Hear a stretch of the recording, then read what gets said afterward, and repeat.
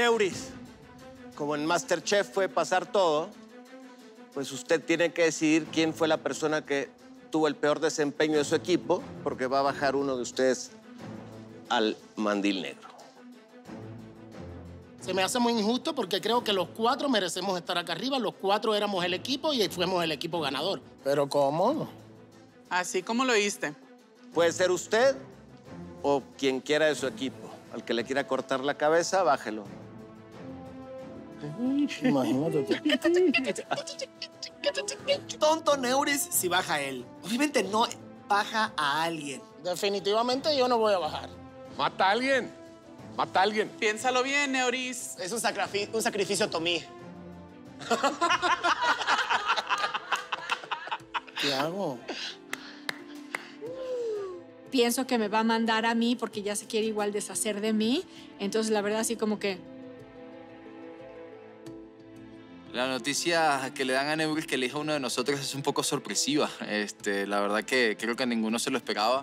Yo confío en que es muy buen cocinero y que lo va a sacar y por eso mando a Rafa. Arre, papá. Dios. Si bajo a Juan o a Lorena, no me la acabo hasta, hasta aunque llegue a la final, no me la acabo con ellos. Sería odio total. Ahí lo vamos a dejar.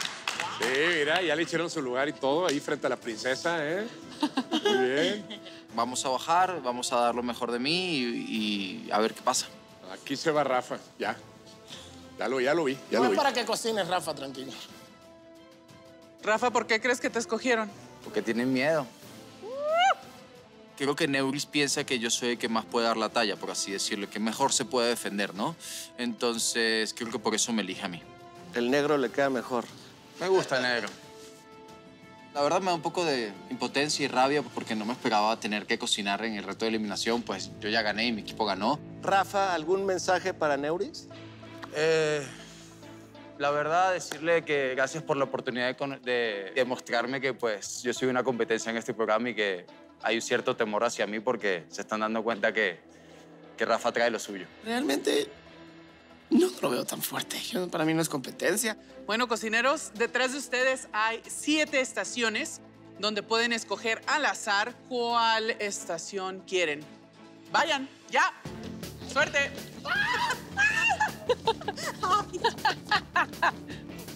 ¿Qué es esto? Allá está. Cocineros en sus estaciones tienen dos cajas. Una que se ve lo que está y otra que se pueden imaginar lo que quieran. Elvia, ¿cuál va a elegir? Oh my God. Venga. Pues voy a irme por la caja negra. Yo creo que la caja negra. eh, Las sorpresas me encantan. Michelle, ¿tú por cuál te vas? Estoy muy indecisa, pero yo creo que me quedo con la transparente. ¿Por qué? Lo que veo me gusta. La verdad es reto de eliminación y no me voy a arriesgar. Cocineros, se acabó el momento de pensar. Levanten la que hayan decidido. Tres, dos, uno.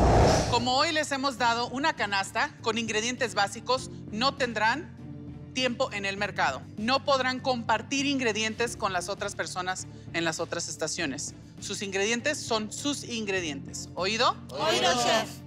Cocineros tienen 60 minutos para salvarse o despedirse. Tres, dos, uno, a cocinar.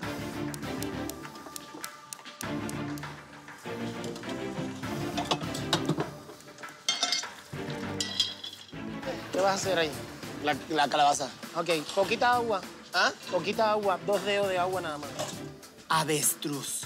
Yo nunca ni la he probado ni la he cocinado. Lo único que sé es que es un ave gigante que no vuela y pica. La verdad, no como mucho cerdo, entonces no sé prepararlo muy bien. Entonces, a lo mejor puedo hacerme, o sea, un filetote, así como si fuera un filet miñón. Eso es lo primero que se me está ocurriendo.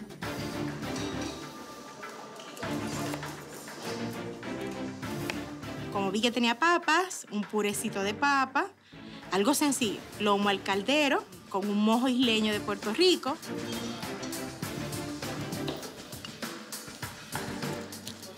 No tengo mucha experiencia con las sardinas. Me gustan, las he comido, pero realmente sardinas frescas jamás las he preparado. Espero que esto no sea algo que me complique el platillo. Yo definitivamente sí me hubiera ido por las sardinas. Las sardinas me fascinan. Súper versátil. O sea, la sardina es menospreciada en el mundo. De acuerdo completamente.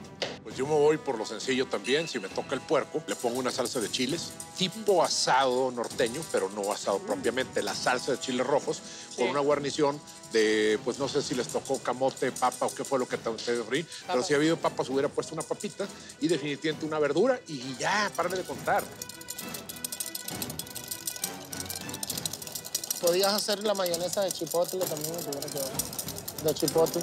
Podría hacer. Hidrata un chipotle y picoteaselo adentro. Sí.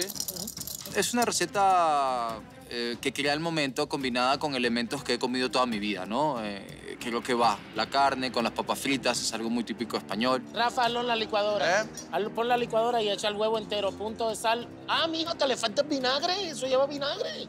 Si no, no es mayonesa. El aioli no lleva vinagre.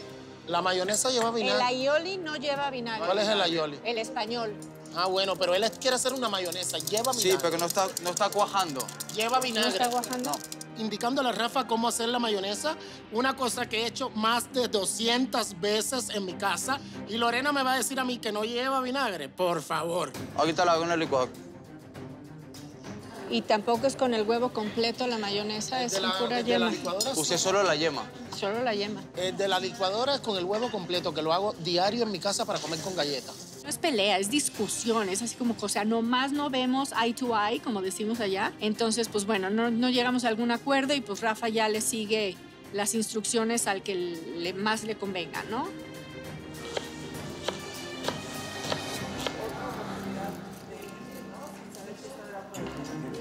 Realmente no tengo nada de experiencia con las sardinas más que abrir el bote, sacarlas, echarle limón y comérmelas.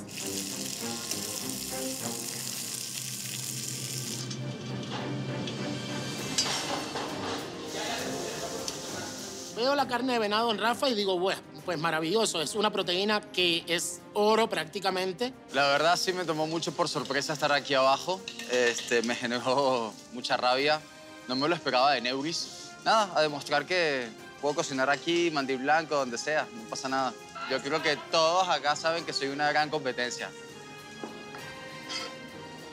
Yo pensaba que la avestruz es blanca porque es ave, pero se veía morada roja. Así que, pues vamos a ver cómo me va. ¿Cómo estás? Bien, bien, aquí estamos. ¿Qué estás haciendo? ¿Chiles rellenos? Sí. Mi, cocin- mi, mi comida favorita, ¿sabes? A mí también, pero a mí me gusta con el queso chihuahua. ¿Y vas a usar este queso?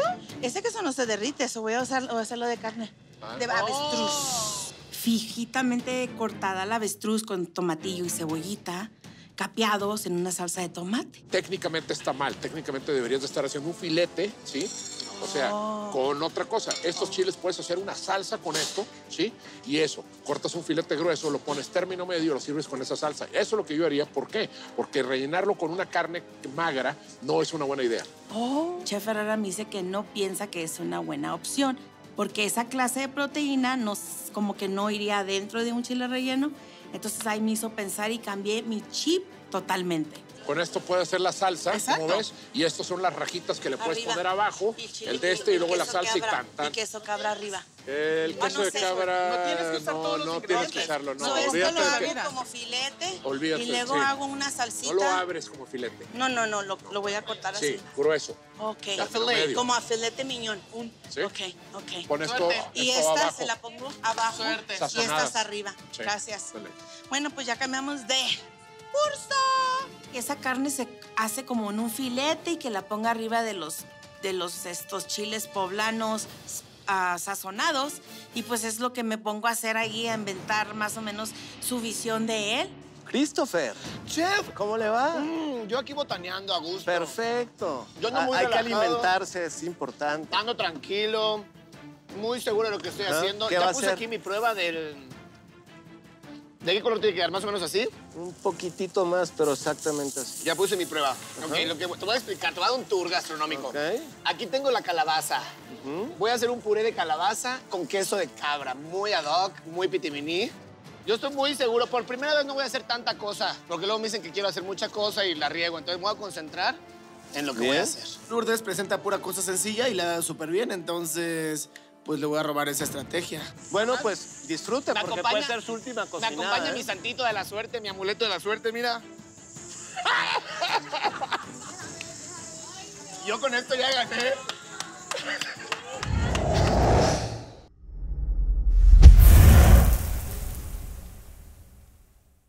Si tú, allá en casita, quieres enterarte de todo lo que pasa en las cocinas de MasterChef y de todos los chismes, suscríbete al canal de YouTube dándole clic aquí arriba para que seas parte de la familia MasterChef.